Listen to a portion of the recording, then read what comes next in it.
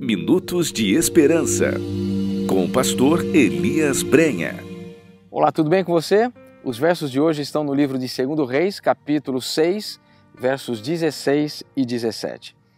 Ele respondeu: Não temas, porque mais são os que estão conosco do que os que estão com eles.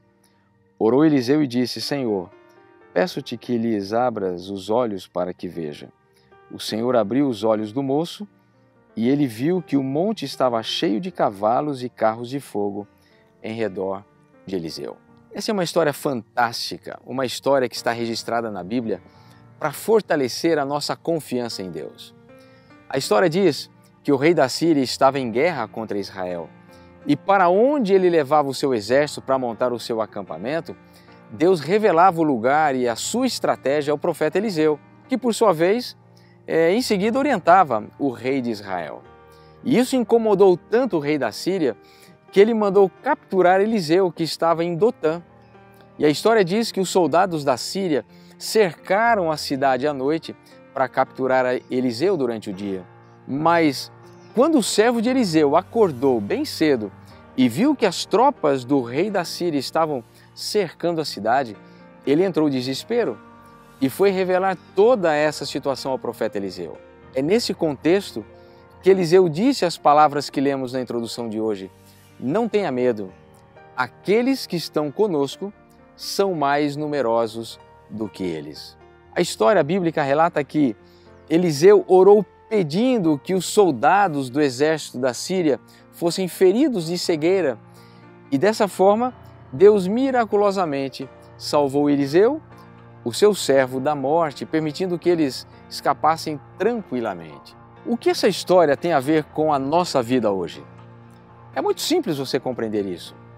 Hoje nós estamos cercados por muitos inimigos que todos os dias tentam destruir a nossa vida. E que inimigos são esses? São as nossas crises conjugais, as nossas crises familiares, são as nossas crises financeiras, as nossas doenças, a Covid, essa terrível pandemia que tem assolado a humanidade e que cada vez chega mais perto de nós e dos nossos queridos amigos e familiares. São as nossas questões emocionais, enfim. Você sabe qual é o inimigo que está cercando a sua vida hoje? Então escute uma coisa muito importante que eu quero dizer para você agora. Nem sempre Deus vai impedir que algumas situações aconteçam em nossa vida. Nem sempre Ele vai impedir que algumas dificuldades batam à nossa porta. Nem sempre Ele vai impedir que a gente escape de uma doença. Mas uma coisa é certa: Deus nunca se afastará de perto de nós. Há um exército invisível de Deus que está nos defendendo e nós só conseguimos enxergá-lo pelos olhos da fé. Deixa-me fazer uma pergunta. Você está em meio a uma crise? Os muros da sua vida estão cercados por inimigos? Não se esqueça. As crises precisam ser encaradas como oportunidades de aprender, de crescer e de fortalecer a nossa confiança em Deus. Nunca se esqueça de que as crises não duram para sempre, mas os frutos e decisões tomadas em tempos difíceis podem ser eternos. Então, independente da crise que bateu à sua porta, apegue-se a Deus hoje e nunca se esqueça das palavras de Eliseu ao seu servo: aqueles que estão conosco são mais numerosos do que eles. Então, se você crê nisso, feche os seus olhos e ore comigo. Querido Deus e Pai, muito obrigado porque o Senhor é um Deus presente na nossa vida. O Senhor é um Deus que não nos abandona, é um Deus que está sempre perto de nós, é um Deus que está sempre atento a todas as nossas necessidades.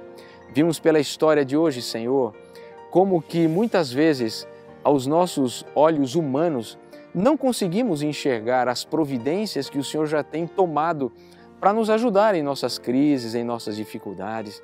Então, o que te pedimos hoje é dar o mesmo pedido que o Senhor concedeu a Eliseu, ao seu servo. Abra os nossos olhos para que a gente enxergue o teu exército salvador, para que a gente enxergue a tua mão protetora, para que a gente enxergue o quanto o Senhor está perto de nós e o quanto o Senhor está atento a todas as nossas lutas, dificuldades, a todas as nossas crises, sejam elas quais forem. Pai querido, eu te peço que o Senhor tome nas tuas mãos a vida de cada um que está ouvindo esse vídeo agora e que está participando conosco dessa oração. Que o Senhor possa multiplicar bênçãos na vida deles, mas, sobretudo, Pai, abra os olhos de cada um para que eles enxerguem as tuas maravilhosas bênçãos e, sobretudo, Pai, o teu exército celestial acampado ao nosso redor, pronto para nos defender, pronto para nos auxiliar. É com esse sentimento, Pai, que nós nos entregamos, que nós nos colocamos em tuas mãos e o fazemos em nome de Jesus. Amém. Louvado seja Deus, porque Deus é um Deus presente. Então, não não solte as mãos do Senhor hoje. Ore todos os momentos, peça que o Senhor abra os seus olhos e com certeza você vai enxergar pela fé a presença de Deus, a presença do exército de Deus ao seu redor nesse dia. Que Deus te abençoe, que Deus te dê um dia de vitórias e com a sua bênção nós nos encontraremos em nosso próximo Minutos de Esperança, se Deus assim o permitir. Um grande abraço. Compartilhe este vídeo nas suas redes sociais. Compartilhe esperança.